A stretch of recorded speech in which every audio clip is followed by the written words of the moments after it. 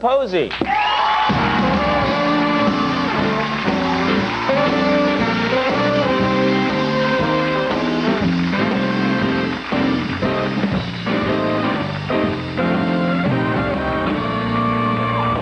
Thanks for being here. You're welcome. Yeah, cool to have you on the show. It's nice to be here. Yeah, well, uh, now, Scream 3. I've been seeing promotion for this thing yeah, everywhere. Some kind of countdown or something. That Yeah. there's like you have two more days. They're creating this whole thing around it. I thing can't believe a movie company would try so hard to get people to watch. To get to watch it. Yeah. Well, they're going to see it anyway because so many people saw the first one. Right, people love these movies, these Scream movies. Yeah. The only thing I've noticed is that every person in the cast, every single person in a Scream movie, has to act really afraid at one point Oh, and yeah, that scream. was fun. And is that, I would think, like, from an acting point of view, is that like the hardest thing in the world to do? Um. I mean, if I was an actor, I'd want parts where I just quietly chuckle, like,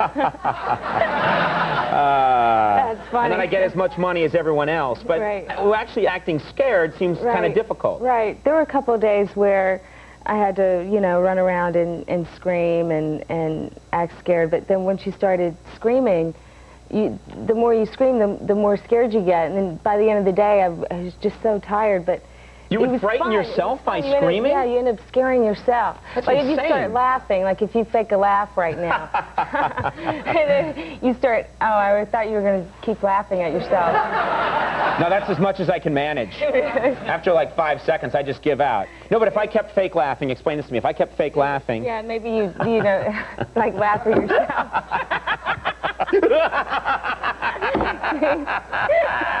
Andy's even laughing now. He's got a it doesn't work. Actually, oddly, it makes me scared. Yeah.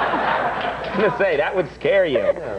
So screaming makes you scared, though, doing Right, that so much. right, Is that right. hard? I would also think. And I had these new wrinkles. Like I, I, I had to scream a lot. I can't give anything away, of course, because there's. I there's bet so there's much- some murdering. Yeah, Good old fashioned Yeah. Yeah. I think we can guess what's going to happen in Scream 3. Not exactly, but what's happening? Uh, yeah. It just, uh, yeah, it kind of wrecked me a little bit. But then Do you have it was good- also fun being scared with the other people. Courtney and I had a lot of fun being scared together and running around and, and screaming, and that was fun. did uh, you also? Do you have a good scream? I mean, I would hate that. I think my I would have a high-pitched womanly scream if I was frightened. Yeah, I would. Be, that would be. You know, I would. I, that's why I would not want to scream. I would. It would embarrass me. But you, do you have a good one? screamed before? You've Not never- really. I try not to because I don't think it would sound right good. I'd be like, ah! That you know, it. that's bad. That's not a good man scream. I think you should try it again. Ah! That's, that's not a scream at all. Ah! I don't know. Well, I, I know. Well, give us one. Can you give us one? I knew you were going to try to get me to yeah, scream. come on. I'll try and frighten you. Eisenhower. Oh! Here, you you see Eisenhower and be afraid, okay? Uh, the general's not anywhere around. Uh, are you ready? Uh, na, na, na, na, na, na. That was good.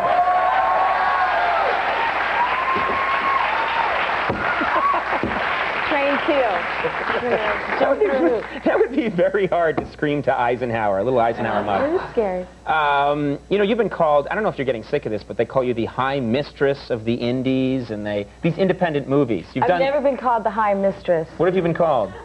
Uh, indie Queen, Indie queen. Queen of the Independents, Right, prin- Indie lady. Princess, right, Indie Girl. right.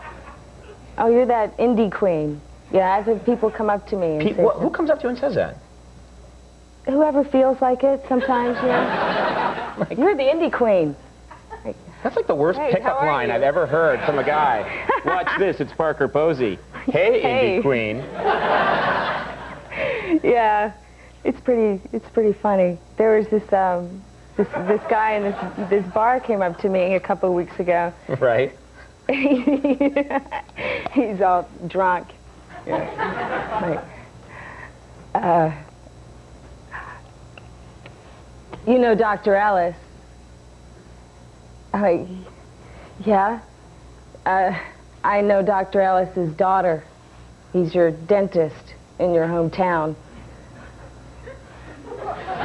Yeah. Max, apologize. And so like, No, he's Max likes a drink every now and then. He's good. He's a very good Yeah. dentist. but it's bizarre. That was that was weird. You know. Yeah. Uh-huh, it's But Max's is it- fault is now. it- no, it's not your fault, Max. You're in. Uh, you're on the Broadway show. Taller I'm in Taller Than a Dwarf, and yeah, it's a new play by I was going to Elaine say the name. You didn't trust me to I'm say the just name. plugging it, man. Uh, are you nervous about that? You- Uh, you- I started rehearsal two days ago, and um, yeah, I'm a little nervous, but it's I, I, I can walk to rehearsal, and and we're going to go to Boston in uh, middle of March, have a little couple of week theater run, right. and then open in in April. All right. So well, come and, and see it. and you're it's in really that- funny. you're in it's that really show- funny. and The, the cast is, is great. I was going to get to the who's in the cast. Yeah, Matthew Broderick. Matthew Broderick, Broderick's in that cast.